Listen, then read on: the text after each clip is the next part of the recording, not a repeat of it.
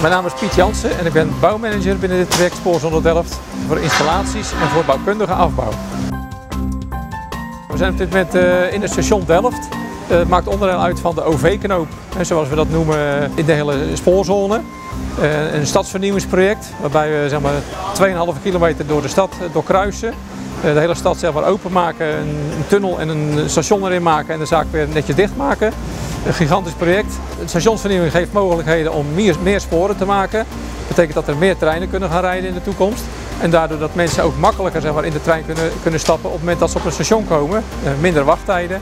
Is uh, allemaal gunstig voor, uh, voor de reiziger. Wat we hier zien is zeg maar, het nieuwe station van Delft. We staan in de stationshal. dat is het, het, het eerste niveau als de reizigers binnenkomen vanuit de stad. Ze treffen hier een aantal winkels aan waar ze snel bak koffie kunnen kopen, eventueel andere, andere inkopen kunnen doen. En daarna zeg maar, via de trappen en de roltrappen of eventueel de lift naar het benedenniveau kunnen gaan om daar de trein te pakken.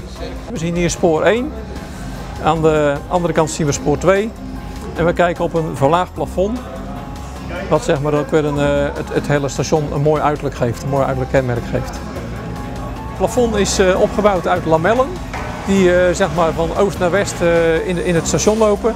En op alle zijkanten van de lamellen is een print uh, gemaakt. En als je daar langs kijkt in lengterichting, dan zie je de stadkaart van Delft. En dat is een stadkaart van Delft waarop de eerste spoorlijn te zien is die hier ooit, ooit is gemaakt in het verleden. En als je kijkt, dan loopt die hier vanuit het zuiden, zo langs de stad, naar het noorden.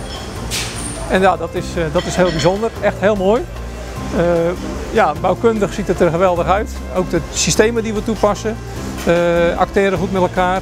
En ja, maakt het voor ons uh, echt, echt een heel mooi project om aan te werken. Ik denk dat we nu op 90% van de bouw zitten. als we naar deze hal kijken, die moet, die moet in september klaar zijn. Dus we zijn echt heel ver. En we, ja, het is eigenlijk het testen wat we nu doen, is de slagroom op de taart.